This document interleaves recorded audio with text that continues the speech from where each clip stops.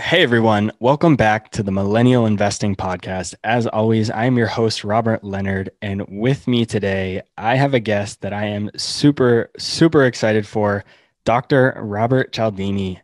Welcome to the show. Well, thank you, Robert. I'm glad to be with you. My guess is that a lot of people listening to the show today have read your book, one, one or, or multiple of them, or have at least heard of you but for those who haven't, please tell us a bit about yourself and how you got to where you are today. Well, you know, I'm a behavioral scientist and uh, I have always been intrigued by the study of influence and persuasion, what got people to move in a particular direction. And uh, so uh, that has been my commitment, it's been my passion for over 35 years now, and I've acquired a lot of information on the topic, so I thought it was a good time to do an update of my book Influence, where I consider these issues, uh, one that takes into account a lot of the new research that's been done.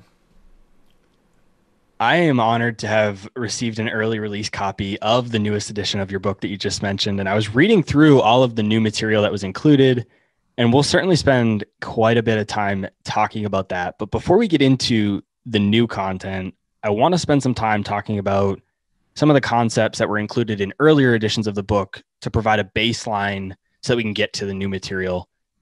For those who are new to your book and your material, what is influence? Why is there so much psychology in persuasion?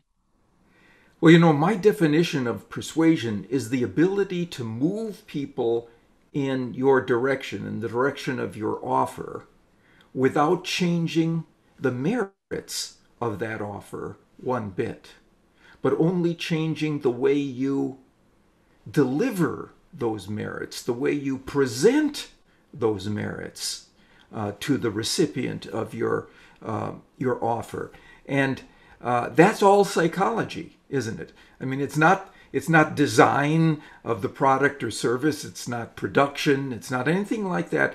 It's about the ability to convey or communicate those merits in a way that makes them more attractive to the individual involved. Uh, that's actually how I got interested in studying the influence process. Uh, all my life, I've been a kind of a sucker uh, a patsy, an easy pushover for the appeals of uh, of salespeople who would come to my door, people selling uh, magazines or um, uh, asking me to contribute to causes I've never heard of, and I would always find myself in unwanted possession of these things or giving contributions uh, to, to, causes that, uh, on their merits, didn't seem to be enough to generate that. What what could it have been? And it re and it, it occurred to me it must have been something in the psychology of the way they presented those merits to me that made them come alive, made them grab me and want to possess them. So I started to study the influence process, partially out of self defense, but more generally out of an intriguing question of what are those delivery systems that we might have, those psychological keys that we could uh, employ to make the influence process more successful. How often do you notice these things in your everyday life when you're just kind of going about about life? How often are you like, "Oh, I recognize this principle here," or you know these different concepts in in everyday life. Every day. Every day. I, am attuned to them. I, it's interesting uh, there's a, a, a, an example uh, in my book where I uh, I had an experience very similar to one of my readers who who wrote about it but I was in an airport uh, a couple of years ago and uh, you know the the um, uh, the the guy behind the counter said, well, we're overbooked, and could we get some people who would be willing to um, uh, take the next flight? We'll give you uh, a voucher, right? And he said, a $3,000 voucher. Well, that got everybody's attention. And he said, oh, oh only kidding. It's a $300 voucher. Right? Not one person offered to give up their seat. He had to raise the amount twice to be $500 before he got anybody to do it. Right? And I know why. Because he made the mistake of beginning with a large number like $3,000, which made $300 seem like a pittance. Right? So I went up to him and I suggested, his name was Clive. He, this was at British Air. And uh, I said, you know, why did you do that? He said, well, I wanted to get a laugh. I wanted to get people's attention and I wanted to get a laugh. So I said, why don't you try this? It has to do with something called the contrast principle of perception. Right? Instead of saying the voucher is $3,000 and then re- retreating to 300 why don't you say, and if you'll agree, we'll give you a voucher of $3. that would have gotten everybody's attention. And then when he said, oh no, sorry, it's actually $300, he would have gotten the laugh and a lot more people volunteering simply by virtue of this principle of perceptual contrast. So I see it all around me. Yeah, I, I see people use that wrong all the time and and I see different concepts that I study outside of psychology and finance in in my everyday life too. So I can only imagine uh, how often that you see it. What are what are the different levers of influence? Well, for me, the the levers of influence are the universal principles of persuasion that, if incorporated into a request, a proposal, a recommendation we would make to others, significantly increase the likelihood that we will hear yes, that we will get assent to what we're proposing. Right? Now, I want to be careful to emphasize the word likelihood here because we're talking about human behavior and behavioral science, not magic. You'll never get any principle or tactic or strategy or practice that works on everybody all the time.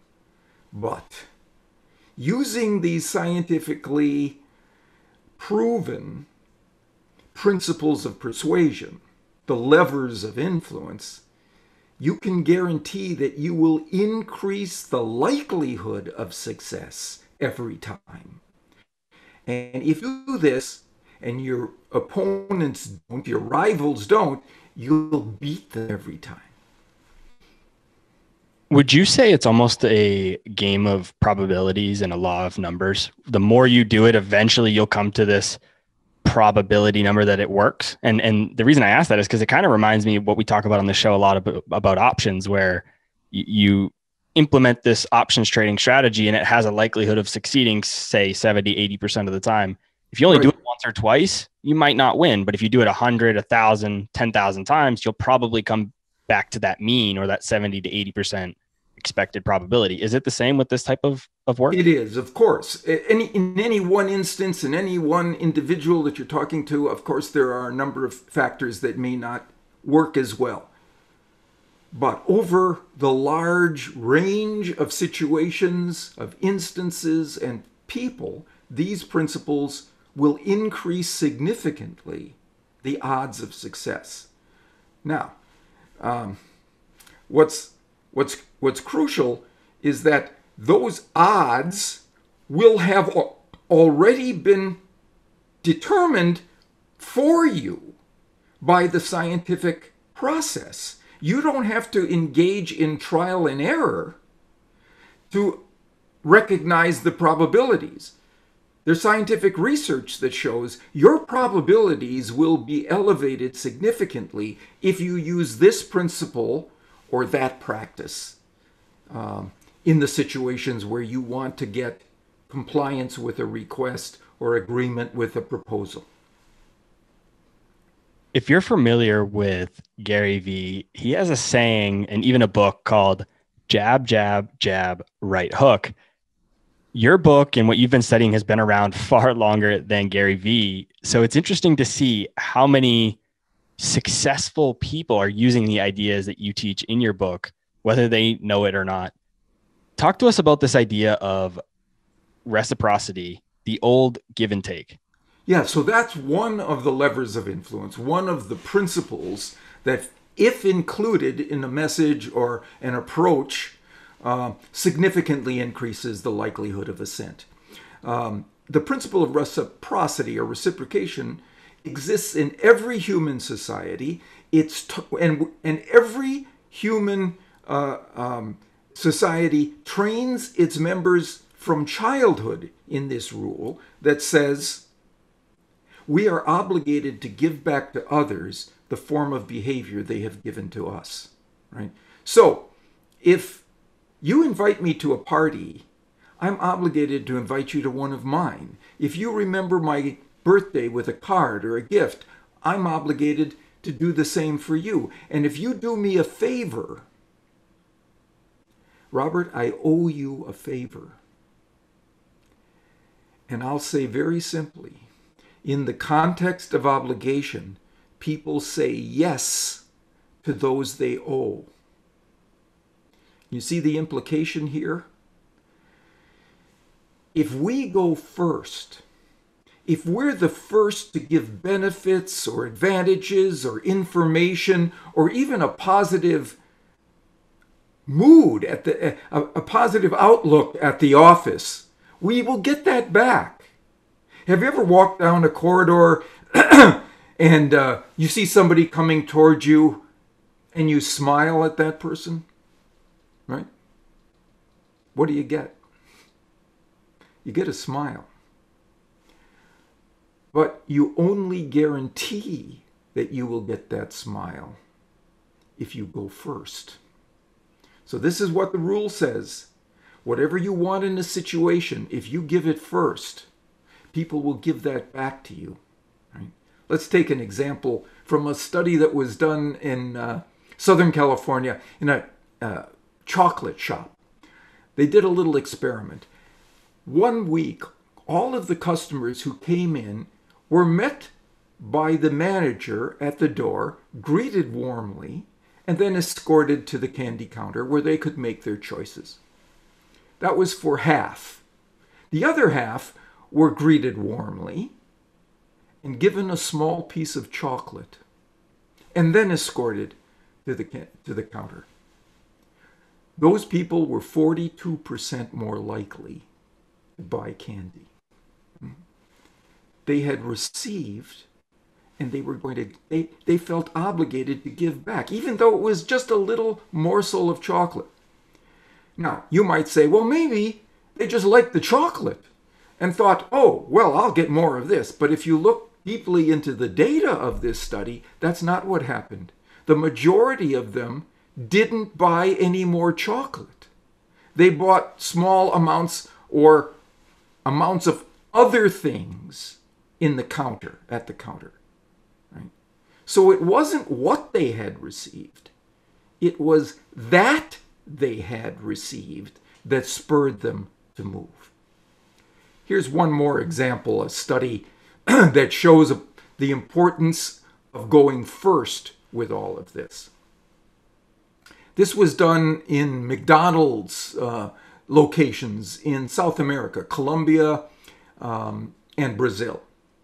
They tried a little experiment. When families came into the store, they wanted the, the, to the store. They wanted to increase the total amount of food that they purchased. So, the kids of the family, each one of them would get a balloon, right? But they changed when the kid would get the balloon, when the kids would get the balloon. For half of the kids, it was as they came in. For the other half, it was as they were leaving. Those families who got whose kids got a balloon when they came in bought 25% more food than the families who got one on the way out was the same balloon, cost the the the uh, the McDonald's a franchisor the same amount. But by giving it at the end, you fumble away the power of the rule for reciprocity. Now, here's another interesting thing about that study. They also looked at the percentage of coffee orders from the family. Now, the kids aren't going to drink coffee, but the parents did. The parents bought more coffee. They didn't just buy more food for their kids, they bought more coffee, right? Because, and this has to do with another one of our principles of influence, the idea of unity, right? If you do a favor for my child, you've done a favor for me. And I owe, and I owe you. And that's what they found, right? 20% more coffee purchases. So that's the principle of reciprocity.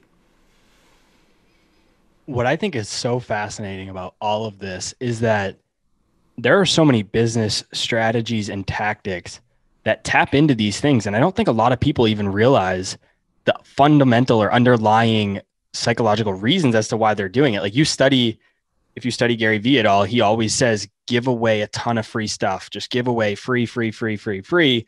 And then eventually ask them to buy and and they will because they feel like they owe you and they've gotten so much value from you.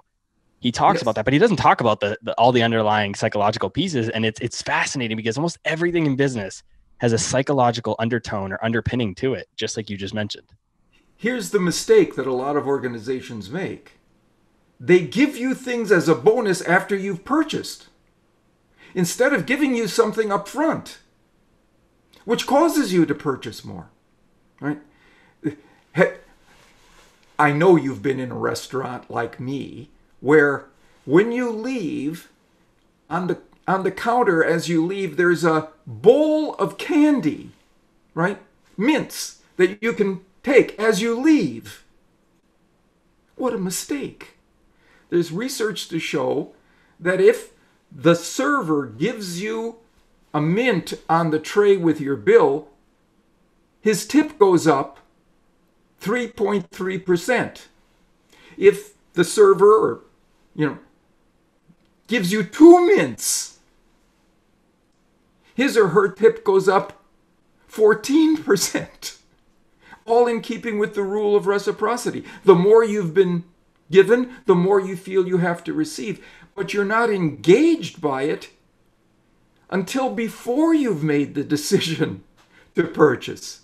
There are a lot of mistakes that are being made by giving people bonuses rather than inducements or gifts from the outset. I'm so glad you just added that last point because that was exactly going to be my next question is I wonder if it works from a, a an employee employer relationship perspective. We always hear about people getting bonuses after they've done something well, and I guess that makes sense from you know verifying that they actually got the results that they needed to to get that bonus. But I wonder if they could even increase their results even more by giving them some sort of bonus when they start. Maybe maybe give more people sign on bonuses so that they're even more incentivized when they first start. I, I wonder if this idea well, of reciprocity you know, could be used. One way that it works is to give them a bonus at the start that if they don't reach their goal, they don't receive.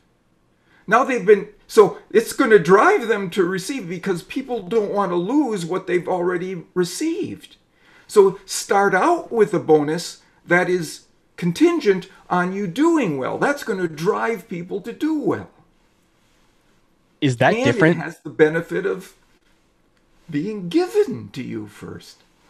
Is that different than knowing you could earn a bonus afterwards? So if you get told, or if you get just say you give given a, a bonus of ten thousand dollars, or you're told somebody else is told if you reach these results you would get a bonus of $10,000. Are those different situations or by telling them that there's the possibility for that is that enough? Those are different situations psychologically. I have not seen research on it, but I put my money on. There is research, in fact, to show, now that I think about it, there's research to show that one way to get people to live up to a commitment is to give them a, a, a bonus or uh, an amount of resources, money, first. People will then fight like crazy to avoid losing it as opposed to, as just as you said, telling them that they will get the, the bonus afterward. One reason is loss is more powerful psychologically than gain. People are more mobilized into action by the idea of losing something than of gaining that very same thing.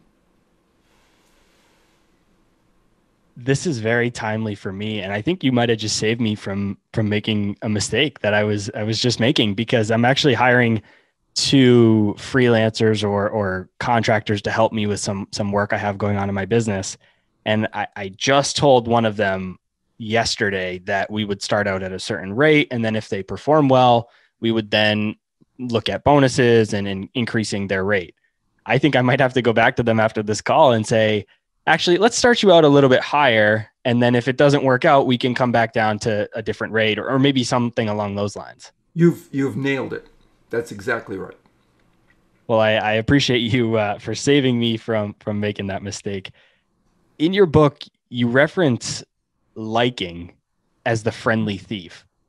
Why and how are these two things related? Well, one thing that happens when we like someone is that we let our guards down.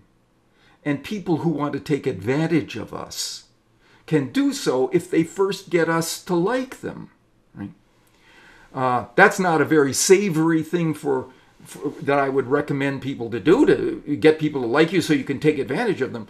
But get them to like you so they have a sense of rapport with you and want to do business, want to carry on uh, in uh, continuing uh, exchanges. That sounds to me entirely ethical and uh, effective at the same time. And there are two things that the research shows will cause people to feel that sense of rapport with you that are very easy to implement.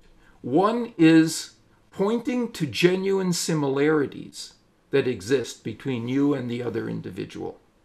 There was a study done of negotiators who were no, they were negotiating online with one another, and because um, online negotiation is very difficult. There's no humanity there. There's just uh, uh, words on a screen. This was by email they were negotiating. Uh, 30% of the time, they were deadlocked. They could not come to a mutually agreeable uh, resolution to the negotiation. But another group of them, the other half of them, were asked to do the negotiation. But before they did, they were asked to send some information to their bargaining opponent about themselves what their hobbies are, what their interests are, uh, what their uh, marital situation is, uh, where they went to school, where they grew up, these kinds of things. Then begin the negotiations. What happened was the number of stymied negotiations where nobody won, both sides walked away with empty pockets, right? Dropped from 30% to 60%. Uh, excuse me, to 6%. From 30% to 60%, 6% of deadlocks, right? So, what you get is people like you more? When they know certain things about you, right? And that could be explained, well, you've humanized yourself in their minds. But when they looked at the data closely again, they found it wasn't just the amount of humanizing information that was sent back and forth, it was only when there were commonalities in the amount in the information that was sent. You're a runner? I'm a runner. Oh, you're a firstborn. I'm a firstborn. You got you've got twins. I've got twins. Whatever it was, right? When they found a commonality, that's what triggered the willingness to give the other person grace in a negotiation, even at a point where they were stuck, so that they could get to a mutually beneficial resolution. That's one thing, similarities. The other is compliments. People love compliments and they love the people who give them compliments. Right? Um, and one new piece of information that's in the new book uh, that I've written is uh, about compliments that are especially effective when you give them behind someone's back. So you don't give that compliment directly and risk the possibility that the people around you who witness it will see you as somebody who's trying to butter up the boss or trying to curry favors. No. Suppose you're in a meeting and your boss says something you think is brilliant. Right? You can't raise your hand and say, you know what, Kelly? What you just said was truly insightful. I thought it was so smart because it seems like you're currying favors. You may have ulterior motives there under those circumstances. Instead, here's what I'm going to recommend tell your boss's assistant that you thought he or she said something brilliant in, in that meeting, what exactly it was. Your assistant will be sure to tell your boss because people want to be associated with good news, right? In the eyes of their superiors, right? Your, the assistant will tell the boss who will love you for it. Give, give compliments behind people's backs. One of my favorite parts of the newest edition of your book is the inclusion of insights about digital businesses. I also like the chapter summaries, but I think my favorite part is about the digital businesses. As you prepared to include this content, what were you most surprised to find in your research? How was the world of digital business impacted by influence? This is a good question because there wa- I was surprised I was surprised that what has changed with these new digital platforms and routes to possible influence is the technology, but not the psychology. There was a study done of 6,200 e commerce sites that used A B designs to decide which particular features of the site would be particularly effective in turning prospects into customers, conversions, right? And what they found was it was not things like free um, delivery or um, technology on, on the site that allowed people to move around more quickly and get into their uh, their purchase basket more readily. Nothing like that. It was the six principles of influence. You know, those whether those principles were there. For example, reciprocity.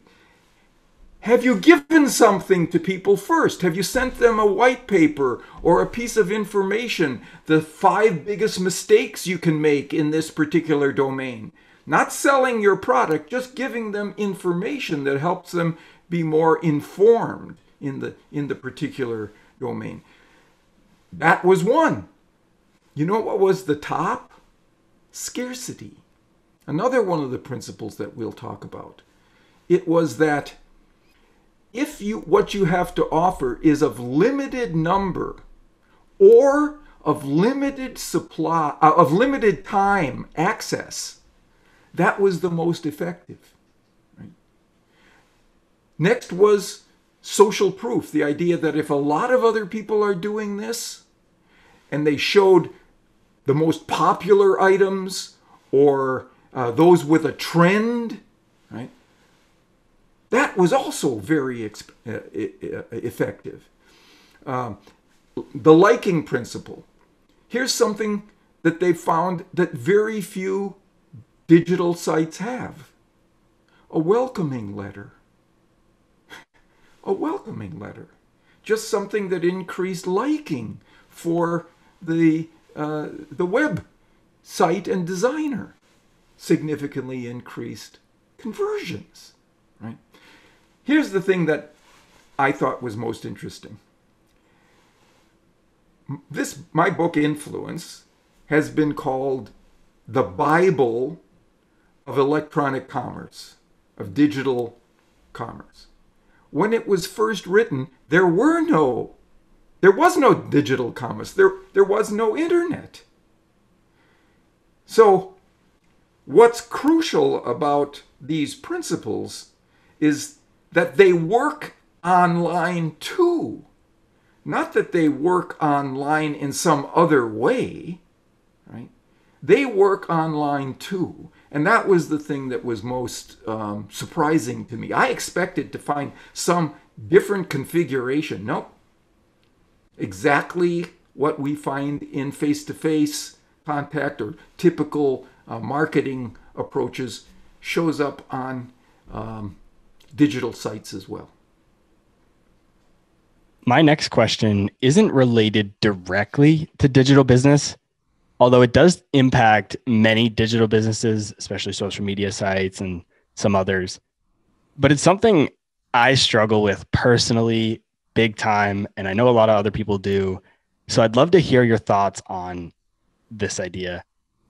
What is it about our cell phones that makes them so addicting that 84% of people say they couldn't go a single day without their mobile device? They have two incredibly reinforcing features, your cell phones. They give you immediate access to desired information. Right? When you go on your cell phone, you can go online, you can go on Amazon, Google, whatever, whatever you want. You can get the information you want. Sometimes it's information that comes from one of your network members, Facebook information. Sometimes it's an email. You get that right away. Right it you you punch your you don't have to call anybody, you don't have to make a phone call, you don't have to have to set an appointment with them. You get it right there. Desired information immediate. And here's the other thing that's desirable that comes immediately connection. You get immediate social connection. So those two things, information and and social connection are right there in your hand.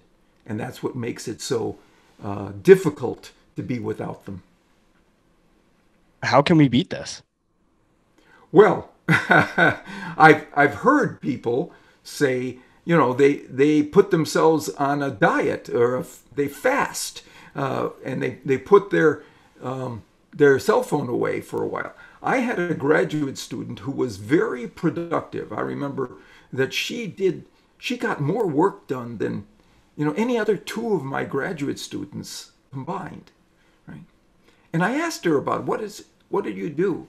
And she said, I don't go to my email or my phone until three o'clock in the afternoon. I don't allow myself to get distracted. I don't allow, myself to get waylaid off into other directions, right? I know what's important. I start out with a, a list of what's most important for me to be doing, and I work on that list. And then at three o'clock, I answer uh, my phone or my email. Yeah, it's tough. It's so hard. Can be done. Yeah, it's so so hard. I like to think I'm a pretty productive guy, and you know, actually, a lot of people ask me for time management tips and strategies, and, and I think I do pretty well with it. But I know I can be better, and the reason I know that is because I know I spend so much time on my phone, and I absolutely hate it. And it's something that I've tried to work on. I've turned off all notifications. I've you know I've done every other like little hack that you could find on the internet. It just still hasn't worked for me. Just last week, I actually did something similar to what your grad student did. Is I always had set my phone on do not disturb when I sleep just so it doesn't wake me up. But hmm. usually I'd set it from like 10 p.m. till like 5 a.m. And so that didn't really help because it didn't wake me up at night, but at least when I woke up, I was the first thing that I did was check it. So it didn't really solve anything.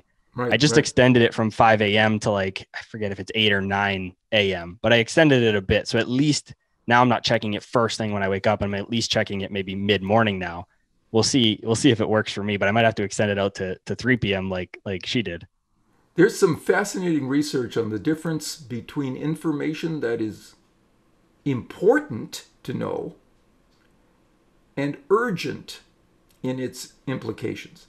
And it's possible, and I wouldn't say not just possible, it's probable that a lot of the urgency of information has to do with things that are not important.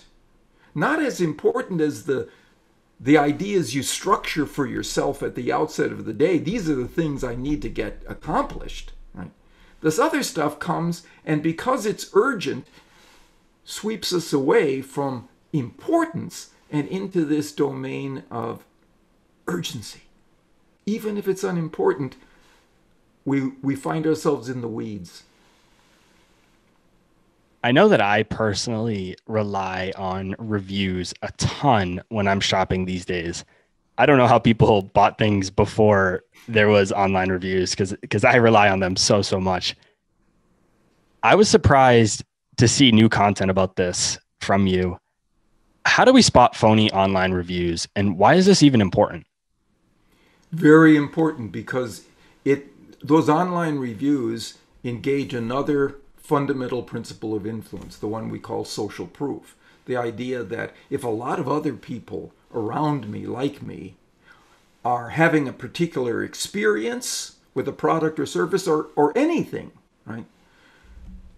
We're likely to have that same experience or something close to it. So, again, we can use those individuals and their experience as a beta test for these products and services. We can see what they think about it, how they uh, experienced it. Very important uh, way that we decide what to do. What are the people around us like that, like us doing? And those stars give us the chance to do that, especially on sites that will give us information about the reviewer, and uh, we can tell how similar that person might be to us, and so on.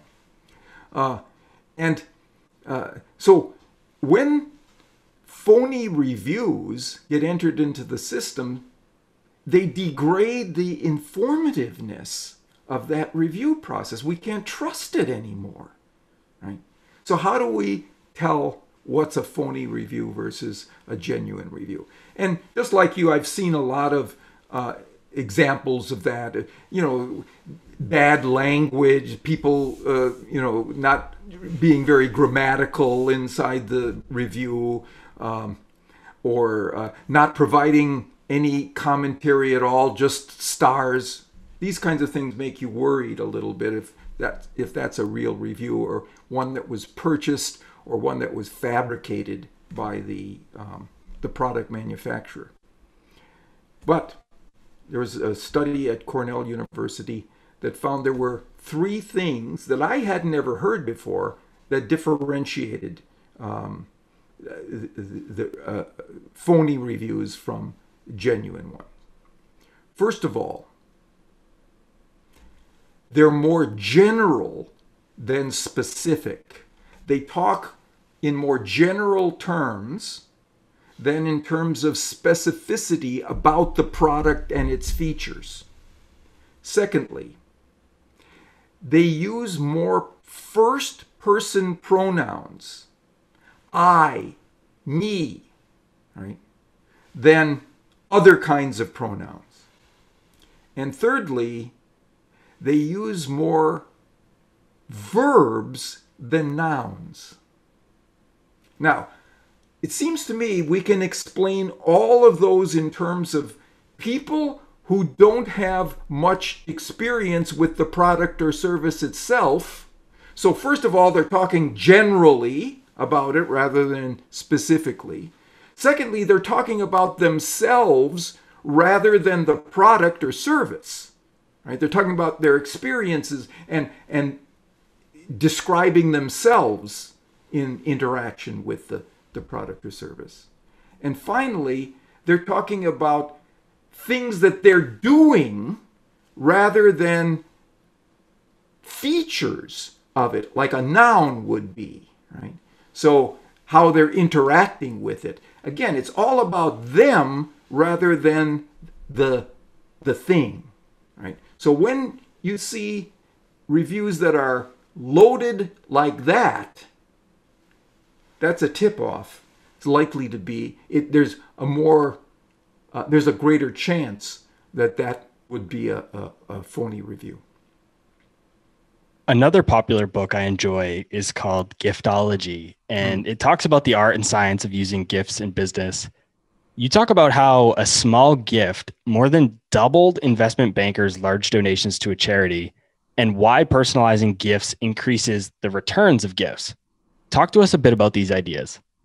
Well, first of all, in that study that was done in London, uh, there was an investment, a large international investment bank that had uh, a London um, headquarters, and they had partnered with a pair of charities in the um, UK uh, area, uh, and they wanted their investment bankers to commit to giving a full day's salary during this period of uh, giving that the um, that the bank was fostering, and uh, when they got a, a letter saying it's it's time to give, would you give a full day's salary?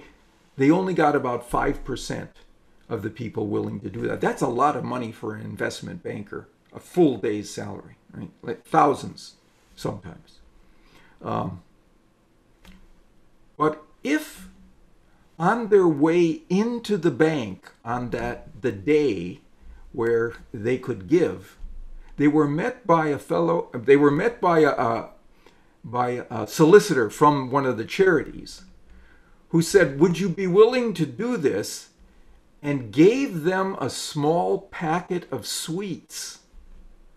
In addition to this letter, right? Now they get a packet of sweets. And the number of people who comply jumps to 12%.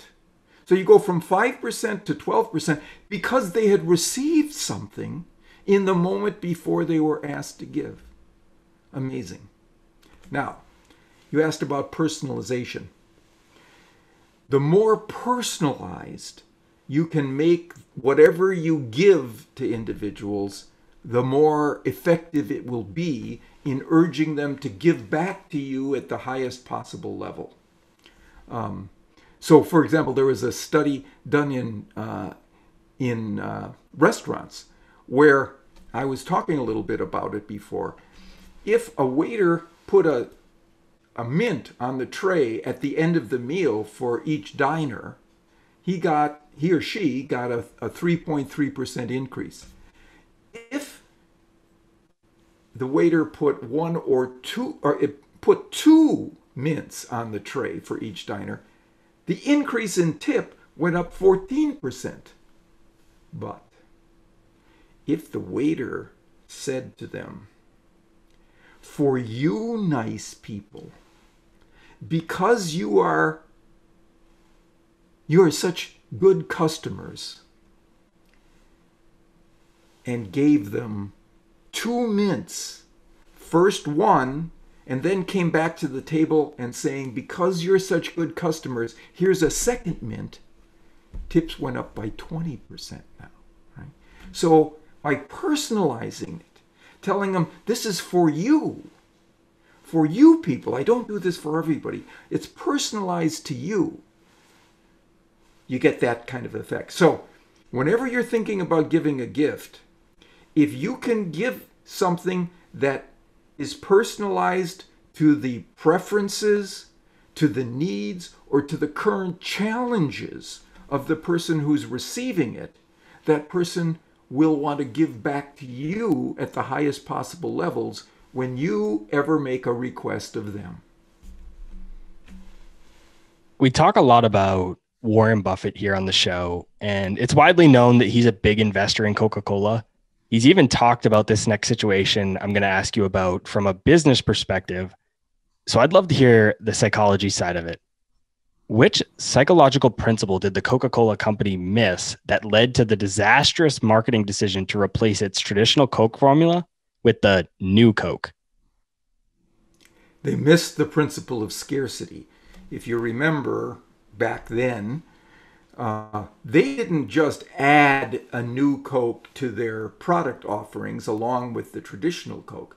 They took away the taste of Coca Cola, the traditional taste of Coca Cola that people had grown up with, right? People get crazy when they lose opportunities that they have experienced in the past and feel that they are entitled to, or when something is rare or scarce or dwindling in availability, they want it more than ever. And what Coca Cola failed to recognize, even though they did taste tests, blind taste tests, where the majority of people who tasted the new Coke versus regular Coke, right, preferred the new Coke, right? Even though that was the case, right? When the old Coke was taken away, now there was a rebellion.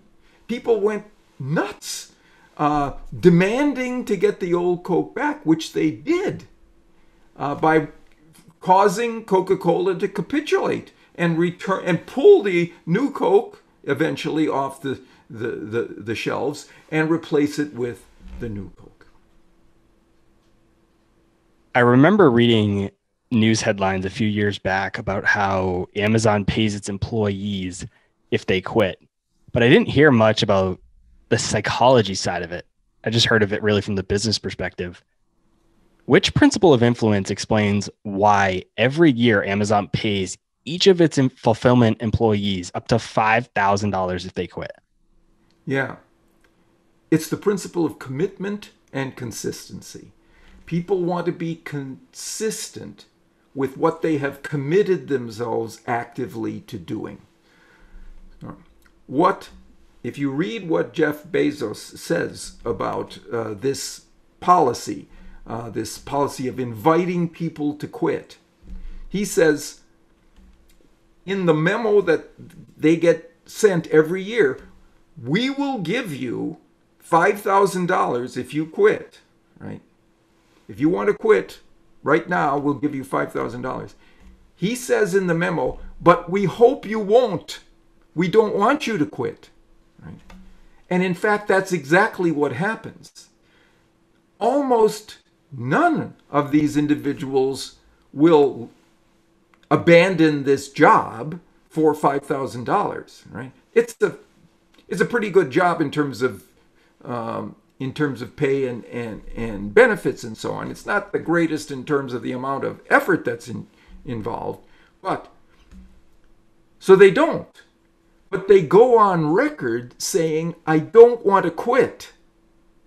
And it's that act of making the commitment to staying that causes them to feel better about their employment because they've just witnessed themselves making a decision that pushes away $5,000 so they can stay there. And they have to say to themselves, I must really like it here. And that's what they find.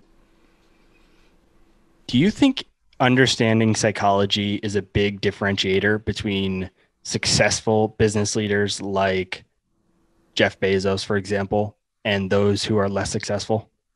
Absolutely. You know, um,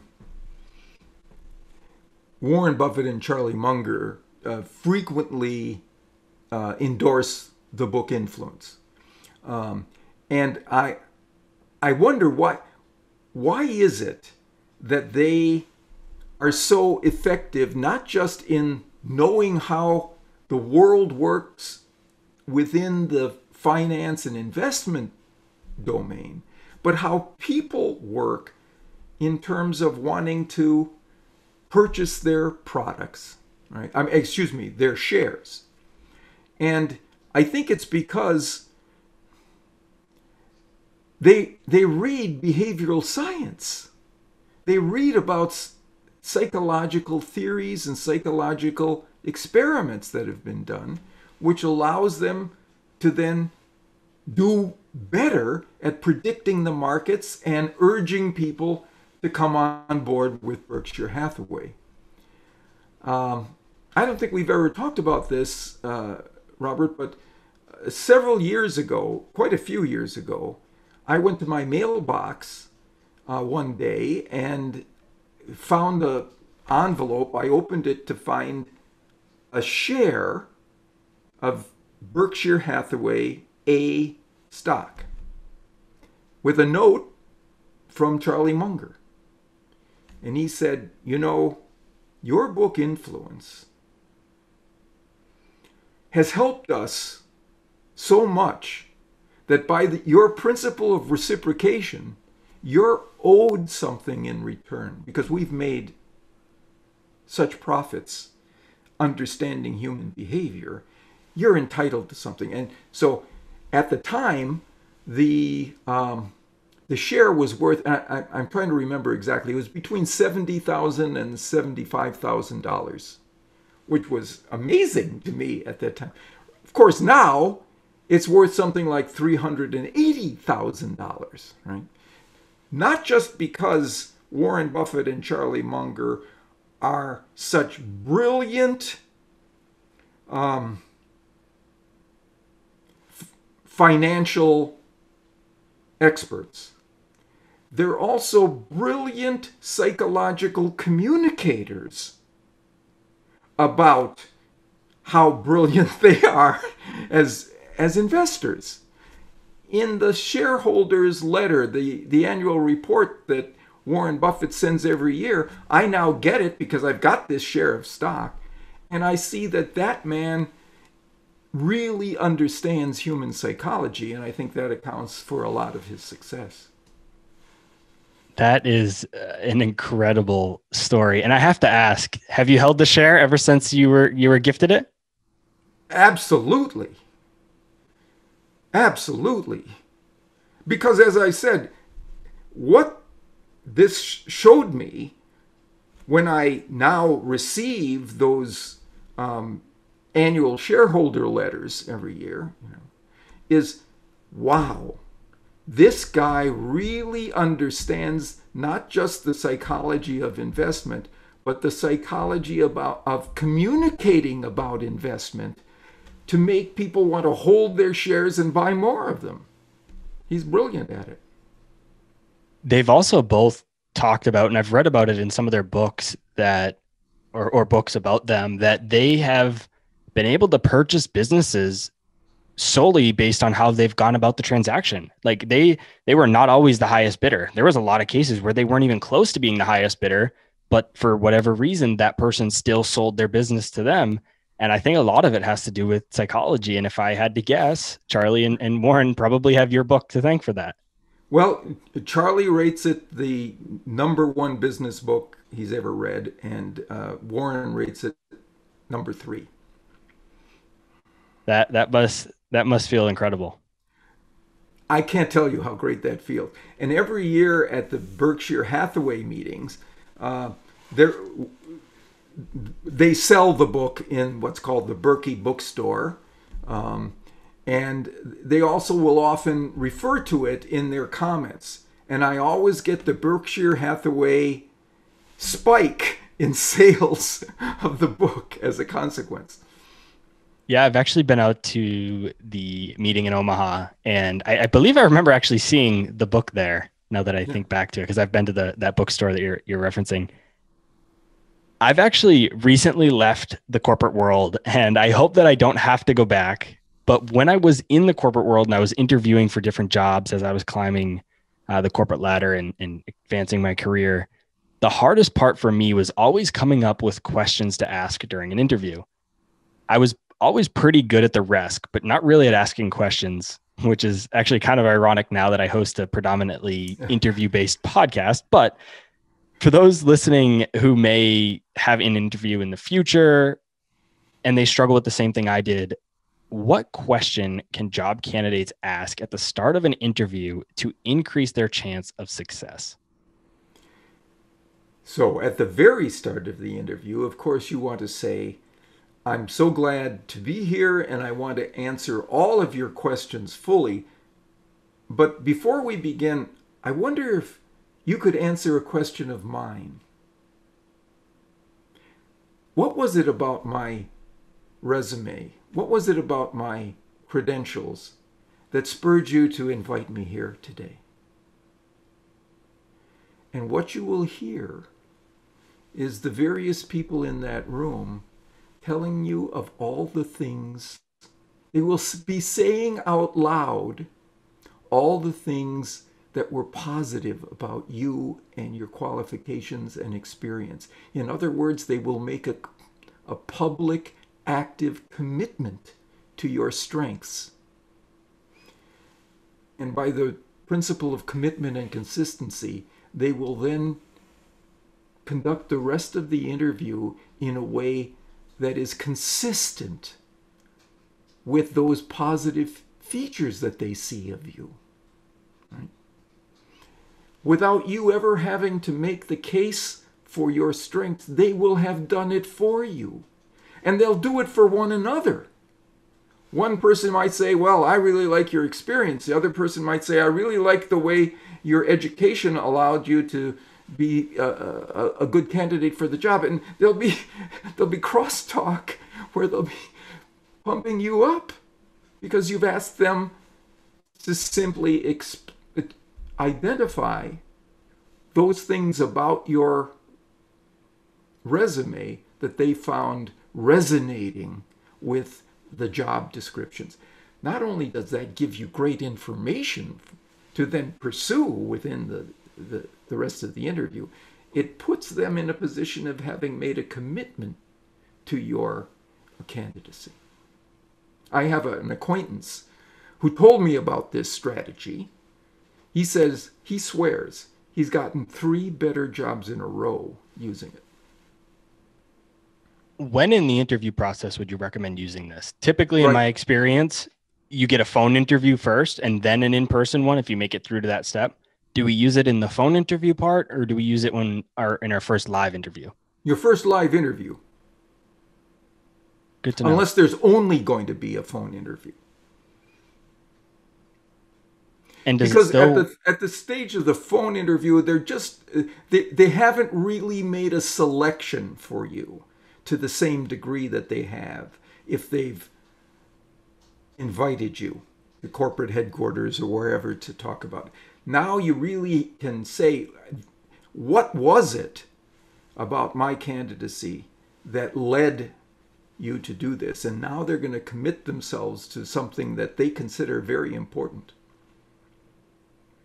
I want to talk about the nation's most successful car salesman and how he uses the unity principle of influence to achieve his success.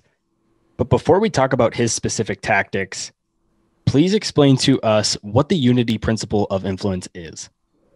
The unity principle says that any communicator who can convince us that he or she shares a social or personal identity with us is a member of a particular in group with us, right? Becomes immediately more influential to us. We trust that person more. We want to cooperate with that person more. We want to learn more from that individual. We want to say yes to that individual more. Right? We say yes to the people who share the boundaries of what I call a we relationship. Right? So these are not people who would be able to say, oh, you know, Robert is like us. That's not it. It's Robert is one of us. Robert is of us. If they if if a communicator, if you can get them to say that, everything is easier for you now inside the influence process. Let me give you an example from a study that was done on a college campus. Uh, young woman, college age woman, stopped people who were walking by, students, uh, and asked them to make a contribution to the United Way.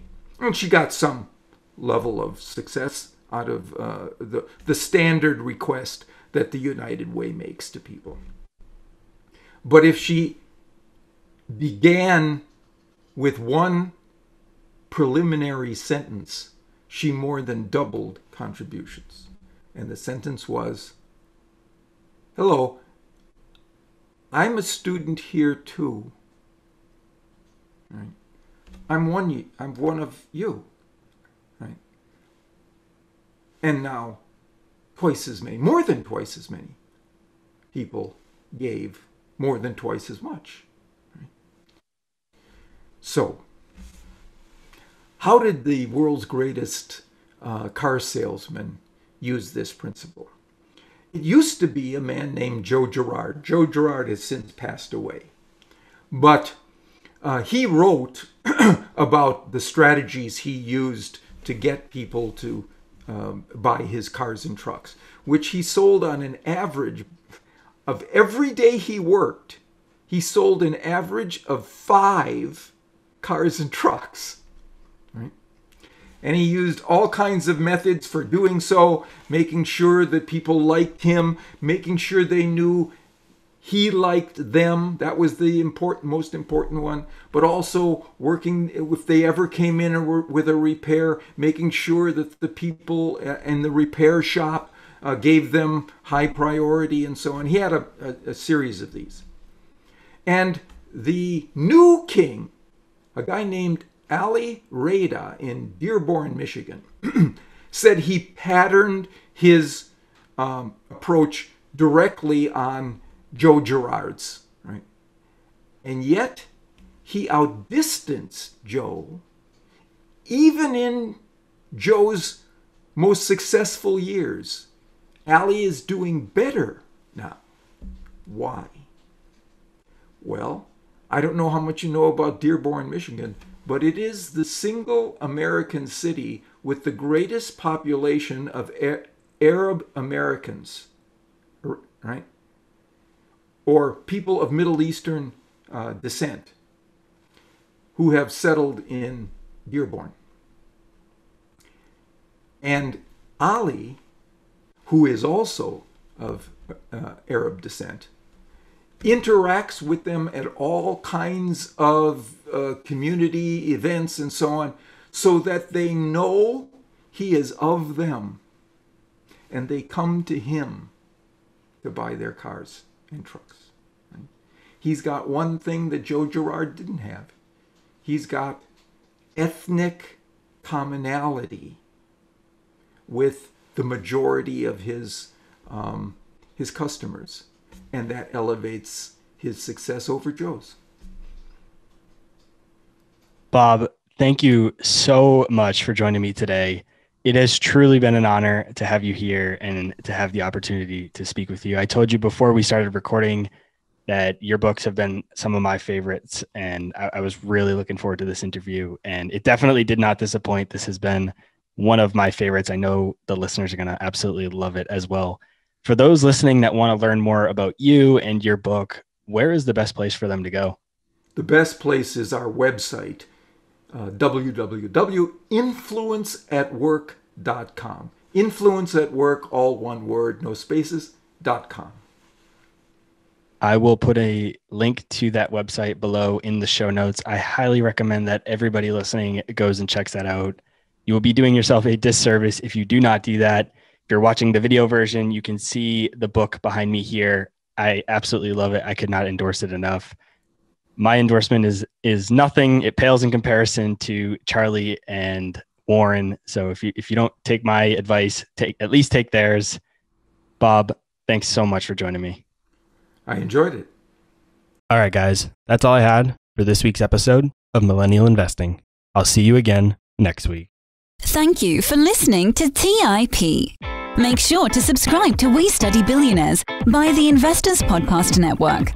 Every Wednesday, we teach you about Bitcoin, and every Saturday, we study billionaires and the financial markets. To access our show notes, transcripts, or courses, go to theinvestorspodcast.com. This show is for entertainment purposes only. Before making any decision, consult a professional. This show is copyrighted by the Investors Podcast Network. Written permission must be granted before syndication or rebroadcasting. Thanks for watching. Make sure to subscribe and hit that notification bell so you don't miss out on our next podcast episode and new investing resources. What are your takeaways and thoughts about this discussion? Let us know in the comments section below.